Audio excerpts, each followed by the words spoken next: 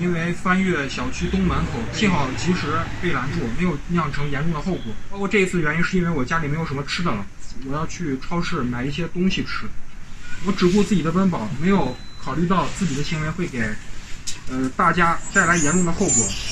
再次向抗议的哥哥姐姐、叔叔阿姨们说声抱歉。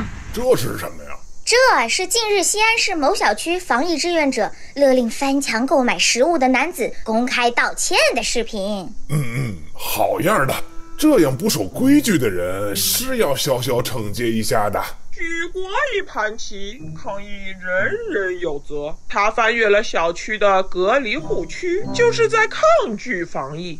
国家不同意，政府不同意，人民更不会同意。公开道歉只是小小的警告，如果再有下次，就送交公安机关依法处理。哈哈哈哈！好好，看来你们这次采取社会面清零治理，严防严控，封城防疫工作开展的还是不错的嘛，哈哈，值得鼓励。谢谢您的肯定。坚持人民至上、生命至上，是我们一切防控举措的出发点和落脚点。我们承诺，疫情不退，我们不退。社会清零，西安加油！社会清零，西安加油！哎，还没结束呢，我话还没说完呢。请问什么是社会清零？西安市疾控中心副主任陈志军表示，社会面清零就是发现的所有新的确诊病例都已经在隔离的密切接触者或者是密切接触者的密切接触者当中，在社区已经不存在社区面的疫情传播。实现社会面清零是为了西安市下一步解封创造良好条件。可可是那些被隔离起来的密切接触者们怎么办啊？那只怪他们命不好，听天由命，自生自灭吧。啊！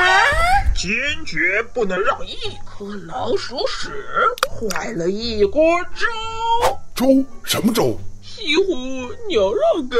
哦，快快快，给我盛一碗。哎，别打岔好不好？近日西安封城期间发生一起孕妇流产事件，引起社会广泛关注，造成恶劣社会影响。怎么讲？你们啊，口口声声说人民至上、生命至上，请问他们不是人民吗？他们的生命不应该同样的宝贵吗？嘿嘿，这你就不懂了。我们龙家呀，讲究的是集体利益大于个人利益，为了大局牺牲小我啊，在所难免啊。在疫情之下，人们面对着千般万种的处境，徘徊街头的考生，饥肠辘辘的居民，急需救助的父亲，正在流血的孕妇。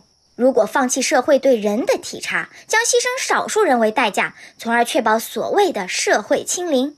那么这样的精细治理，实则流于粗疏。这样的抗疫清零，注定是缺乏温度的。谁说缺乏温度？我们的政府家家户户送温暖，封城封区不害怕，爱心蔬菜送到家。请看这些百姓发自内心的感谢吧。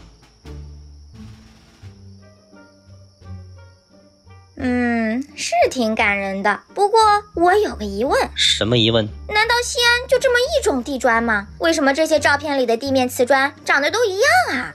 嗯，呃，报告您，抗疫工作特别忙，我们人手跟不上。要问为啥长一样，我说巧合，您信吗？什么？